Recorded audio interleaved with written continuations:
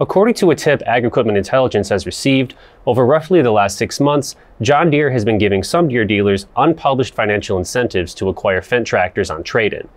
We were able to confirm the existence of these so called incentives with one multi store Deere dealer.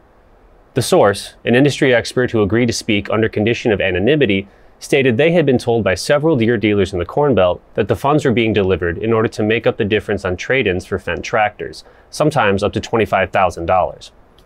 The individual stated that, quote, the new Fendt tractor has shown sufficient market uptake, and customer interest has gotten under John Deere's skin enough that they had been providing these incentives to dealers in order to thwart Fendt's sales progress. We reached out to Deere for comment and received the following statement from John Deere marketing manager Kevin Jewell. Manufacturer to dealer incentives are common in many industries, including agriculture. At times, John Deere pays dealers incentives based on the dealer's sale of new equipment. John Deere dealers are independent businesses and these incentives are paid directly to them. Dealers price their own used equipment as dictated by market pricing without John Deere's involvement. We encourage our viewers to email me at bthorpe at lessitermedia.com if they have any comments or insights into this topic.